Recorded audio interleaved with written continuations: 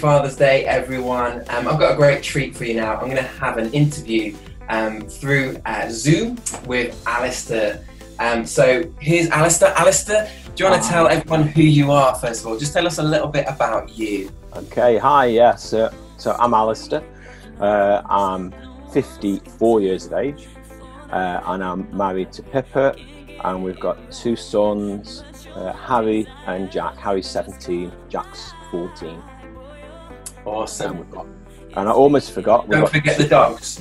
Yeah, yeah, yeah. We've got two dogs now. We've got uh, Jasper, and we've now, uh, during lockdown, uh, had a puppy called Albie, who uh.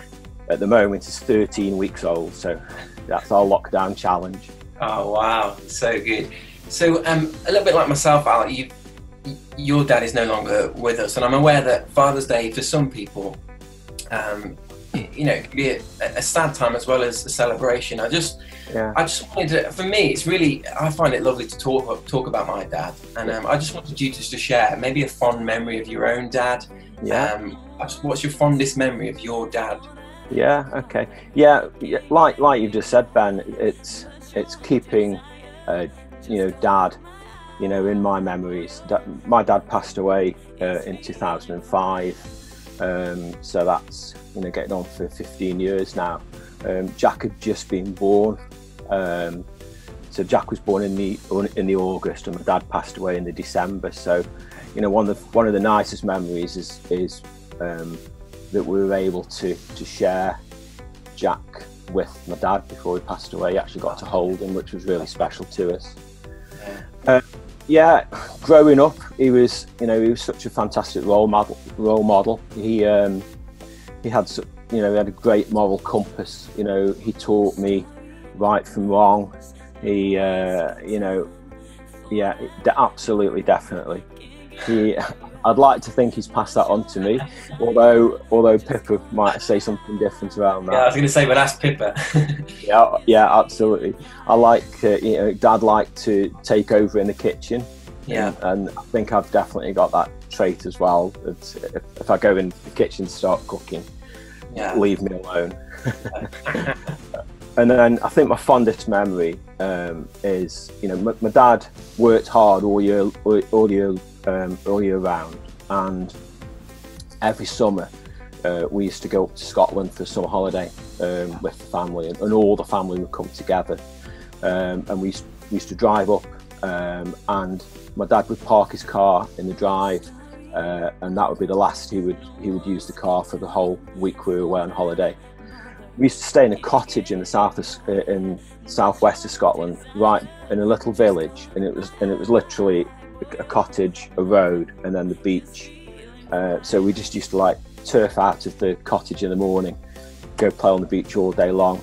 But the memory I've got of my dad really is that he would go out early in the morning uh, for, for, a walk on his own. Um, and we used to get up, or I used to get up in the morning after he'd gone out, and you'd go out on the beach and you couldn't see him anywhere on the beach but I would look around and I'd find his footsteps. I'd find his, his sandal prints in the in the sand. He used to wear. He was a good old bloke. He used to wear socks and sandals no matter what the weather was. But I would find his. I would find the the, the impressions in the sand of his sandals. And although I couldn't see where he was, I would just follow those footprints along the sand, and eventually I'd catch up with him. You wow. know, maybe a mile, two miles down the sand, and I'd catch up with him. And it was just I just got that vivid memory of doing that with him. It was so, I don't know, I just felt so secure seeing those footprints in the sand, yeah. and then just following them along until I, until I caught up with him. Yeah, he wasn't always that pleased to see me, but like, "What are you doing here?" But it was so great. It was such a lovely time, and then we'd, you know, we'd wander back or whatever. So yeah, yeah. that's my dad. That was my dad. What a great memory. So you're now a dad, um, two boys and two dogs. um, what's sort of the highlight of being a dad so far for you? What, you know, some positive. Give us some some great dad experience or moments. I think, like what I've just said to you about my dad is is, uh, and, and I'm sure you do it with, you know, you, you do it with Abigail. Is, you know, my dad. I, I don't want the boys to lose their memories of, of him. So you know, he's very much you know still in our lives. We still talk about him Um, you know, we, I still chat to the boys about things that I did growing up with dad and, and things that, well, Jack obviously can't remember things particularly, but, you know, certainly with Harry, things that he remembers with him. But yeah, yeah, I'm, you know, I'm so proud of the, of the young men that the boys are growing into. Uh, you know, they, both serve in church. Yeah. Uh, you know, Harry, Harry and Jack are both on the events team. They're both really involved in uh, Ignite and in, and in kids. yeah. Um, and then obviously Jack's this master musician who plays these guitars. I notice you're in his room. He's Yes, yeah. place at the moment.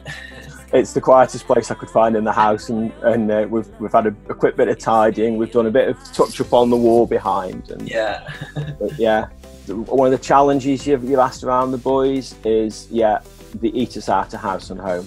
The, the, the growing, Good lad. continue growing, and it, it is like sharing a house with two locusts. We get Tesco delivered, and uh, and before we know it, it's it's, it's gone. It's Oh. like what can we, what can we eat next? But I think the proudest moment I've got of, of, of Harry and Jack was, was when they both uh, you know, they both gave their lives to Jesus, and you know, and they were both baptized. I think you were there when they were baptized, Ben. It was, Yeah. it was, it was wow. It was close on emotional. It was Yeah. amazing see. We'll get on in a, in a moment. We'll talk more about, um, uh, you know, what the difference Jesus and God has made in your family's life. Um, but I just wanted to kind of talk about another sort of big section of your life. I'm, I'm, for anyone that's just watching, um, I'm int- interviewing Alistair, and we're talking about being a father, being a dad, um, and a big part of your life, Alistair, was um, being in the police not so long Yeah. ago. You know, what impact has being a police officer made to you as a man? So yeah, I was I was in the police. I did 30 years uh, in the police service. Wow. Um, I retired. I've been retired almost four years now, Ben. I retired in 2016. So I don't know if this makes you feel any better or any worse, but the, the day you sent me a photo, I think there's a photo on screen, um, when you joined the force, that was the year I was born. So just just to, to make you feel better. That, that, that really does. But just to put it in context, so you started the force in 1986. When you were born. When you were born. Yeah. Yeah. Yeah. anyway, sorry to interrupt. Carry on. What- Sort of, what difference has it made in your life? Uh, you know, being an officer. it taught me a lot of things um, being in the police service. It taught me to be resilient. It taught me to have patience with people. It taught me to see the good in people. It was it was it, it, it, it was so easy in the police service to see the dark side of things we dealt with and the dark side in the people we dealt with. But you know, we, we it taught me to see through that. It taught me to to see that you know people are good. Uh, you know, people you know do have a heart, and it was it was yeah it was absolutely trying not to bring that home as well. It, you know how to manage stress. It was it, you know it was a stressful job.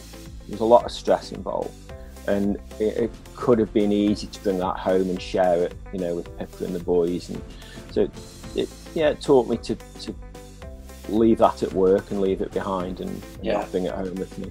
You mentioned um, in a conversation earlier about um, seeing the best in people and seeing Yeah. the good, in, and I think that's you know significant as a Christian now. Yeah, back, actually, you know what God does for us. Yeah. He's you know He sees through all the mess yeah, and through the darkness, and He sees Yeah, the good in us. absolutely. I think that you know that's an amazing illustration of, of what God does in us. That you as an officer, you would see and you try and see the good in in people. Yeah. So anyway, uh, what you're really good at, Alistair, um, and those watching. Um, I'm just going to kind of address you for a second. Alistair's really good at just sharing stories about his, his life, and um, just share us a little story um, about you know being in Ten- t- tends to be like mishaps that I've been involved in Yeah. predominantly, Ben. I have to say, yeah, just um, yeah. Uh, I was on duty one day and I had to go on a on a routine visit to a house in Stoke on Trent, and it was uh, one of these terraced houses where you had the, the front living room and then a, a corridor to go down to the back living room. Yeah. and it was just a routine visit and I and I call and, I, and I'm chatting away to the occupant and they invite the occupant invites me in and invites me to go down to the to the back room. So I, I'm just nonchalantly walking down this corridor chatting away. And literally the next thing is I'm I hear a bang and I'm lying on the floor on my back looking up at the ceiling and I knocked myself out and the occupant came running over to me and I got this big red mark across my forehead and I'd walked into a chin-up bar that was halfway down the corridor. It was too high for the occupant, but it was at, right at my forehead height. Oh, brilliant, brilliant. So I had to go back into the police station and I got this lovely big red mark across my forehead. Of course, everyone's like, what on earth have you done now, Alistair? so good. Yeah. Okay, so we've talked a little bit about fatherhood and um, your childhood, but also about the police force. Um, when did you become a Christian? Can you give us a rough time scale? Yeah, um, we we first we first started coming to to, to breathe, and uh, I've, I've, had to look this up, Ben, because it's, it's so long ago. I mean, it's it's, a, it's obviously a you know a, a, significant time in my life. But yeah, we started coming to breathe in 2012, wow. Um, and uh, I became a Christian in 2013. So we, yeah. we, we all we've all we've all taken Jesus into our lives, and we've, yeah. we've, all taken Jesus into our lives at, at different times. So yeah. I I was the first to uh, I was the first to go in 2013. I was baptized in May of 2013. Um, I think it was actually you that did it, Ben. Yes, yeah, yeah. You and possibly you and Rob, I think it was. Yeah, possibly was. Remember yeah. Yeah. yeah. So yeah, so uh, yeah, so we none of us grew up in a in a Christian household particularly. Um, I, you know, I didn't. My my parents did have faith, I think, but not when I was growing up. We didn't go to church. We didn't. I said my prayers when I went to bed when I was little, but um, that was my really only experience of Jesus. And it was only until, you know, coming to breathe that I really, you know, encountered Jesus and, and gave my life. Wow. So now that you've all found Jesus, what difference does Jesus make in your family life, in you as a dad and the kids? What, what difference has Jesus made? In, if you can summarize it in a brief. Yeah. Um, that we're filled with hope and joy and excitement and love. You know, love for each other, love for Jesus, uh, you know, love for other people as well. It's, you know, it's, yeah, we were I think before we found Jesus, I think I think you hear, you know, we were going through the motions of life. Yeah. Um, but you know now, you know, we're doing life with Jesus. It's just amazing. It's great. That's so good. Yeah. Wow. I mean, what a great story. It's always a pleasure. You um, more when before lockdown and before COVID, we, you were regular in the church um, building on a Monday, and it was great always at lunchtime to have a chat with you about yeah. you know, life, and it, it's, it's, it's such an encouragement. But um, I'm aware that it, it's, it's Father's Day, and as, as I said at the beginning of this interview, that for some people it may not be a particularly easy day. Um, you may have lost or, or, or, may not, and there may be other reasons why you don't um, particularly find Father's Day um, enjoyable. And I just wanted Alistair to to finish us off with just maybe just a few words of encouragement, um, inspiration for the men, particularly yeah. Father's Day. Could you just um, give us some encouragement? Yeah, like like you say, Ben. You know, Father's Day, you know, can be a tough time for, for people. You know, it, it can be a really tough time for people who, you know, haven't had, you know, a great relationship with their their own dad, their own father or you know even who guide for, for people that you know don't know who their dad is. But you know we all have a father in heaven who loves us no matter what he loves us all you know no matter what. So yeah so what i would just say is you know just wherever you are you know wherever you're at at the moment just remember that you know our father in heaven he, he loves us unconditionally. Amazing well, I think that I can't say it any better myself, really. So, first of all, thanks very much, Alistair, for um, for sharing with us today, and thanks to everyone. For, great. Thanks to everyone that's listened, and we hope that you found it helpful. And again, happy Father's Day. See yeah. you later.